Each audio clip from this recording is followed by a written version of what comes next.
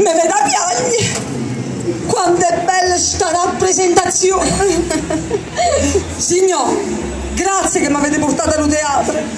Mica lo dottore ci ha rimasto male che ha preso la posta su. Ma no, Filomena. Eh. Mio marito aveva un impegno con dei colleghi e non poteva venire stasera. Poi sai che gli fa piacere cedere il suo posto a te. E lo ha già fatto tante altre volte. È lo vero, signor. Quanto è buono il dottore che fa venire a serve come a me a vedere la prosa. Eh, a me il teatro mi piace assai. Certe belle storie, un sacco d'attore importante, tante parole pizzute. Signor, io mi sento un po' che meno ignorante quando vengo al teatro. Ignorante. Ma Filomena, cosa dici?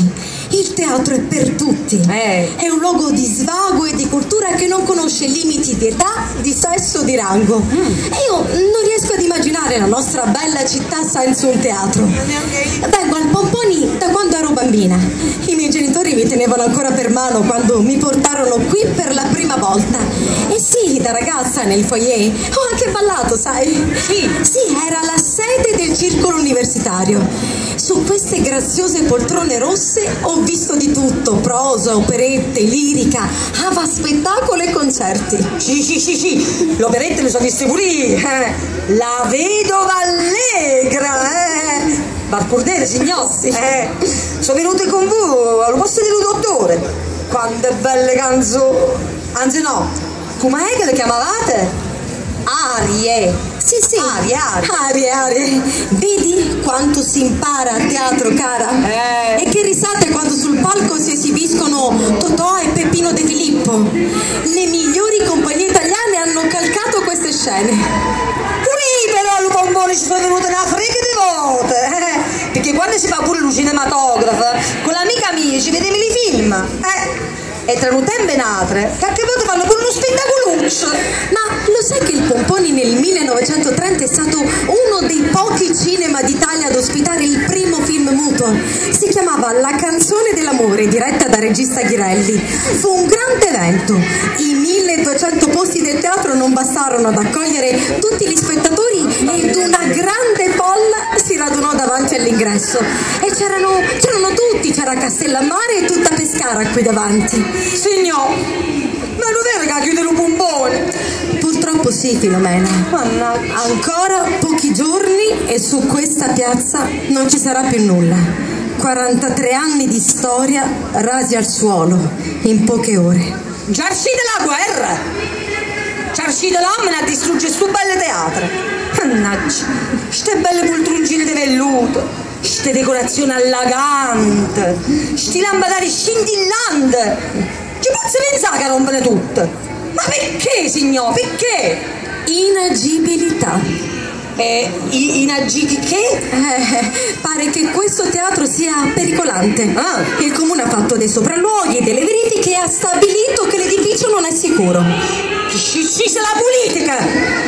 E quando vedete tutti quelli politici importanti? Eh,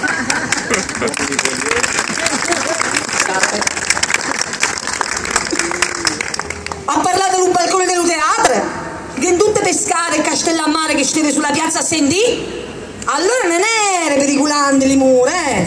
Allora gli faceva comodo lo pompone, eh? Eh, voglio pensare che lo abbiamo scoperto successivamente. Certo è che mi si spezza il cuore se penso che un giorno qui ci sarà solo un parcheggio. Si abbatte un teatro affacciato sul mare per realizzare dei posti per le automobili, così scrivono i giornali. Signor, ma non si poteva aggiustare su teatro? Se è pericolante, si fanno i lavori e si mette a posto. Si ha da battere per forza. Eh, la tua è un'osservazione molto perspicace, Filomena. In effetti negli ambienti degli intellettuali pescaresi si mormora che con una ristrutturazione il teatro potrebbe tornare agibile, ma che forse qualcuno abbia premura di distruggerlo. E perché? Eh, perché? Perché quest'area è centrale ed è vicina al mare, è molto frequentata e vari interessi si concentrano su di essa. Potrebbe essere oggetto di speculazioni edilizie future. Signor, ma che mi stizzi? I palazzi sono una piazza di fronte al mare. Eh, c'è chi dice che vi sarà costruito un albergo, chi un centro fieristico. E per fare la fiera si distrugge un teatro. Teatro. Hai ragione, cara, ma non so proprio cosa risponderti. Eh, vedi, è tutto così strano. Mi chiedo come Pescara vivrà senza il suo Pomponi, che ormai è parte della nostra vita. Una città senza un teatro e un luogo senza un'identità culturale. Mm. Ma fosse che sti puliti che vogliono distruggere i pomponi perché hanno trovato un altro posto per costruire un altro teatro, eh? E che senso avrebbe? Signore, eh, la vedete voi prima. Speculazioni. Si dice così.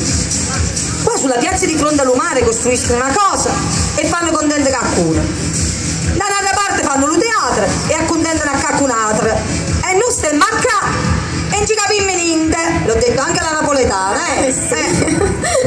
Speriamo almeno che ci avevano un teatro nuovo, più bello e più grande del Pompone. Chissà, Filomena. Pensa che il Pomponi fu costruito in appena due mesi da un imprenditore lungimirante Eh. nel 1923. Eh, se basta così poco per edificare uno spazio di arte e di Eh. cultura, magari per la prossima estate Pescara avrà il suo teatro nuovo in un'altra parte della città. Sì, sì, sì, sì, sì, la prossima estate. Signor, finché ci sta lo pompone, armettetemi a vedere sta rappresentazione che è mia, va! Eh sì. Grazie!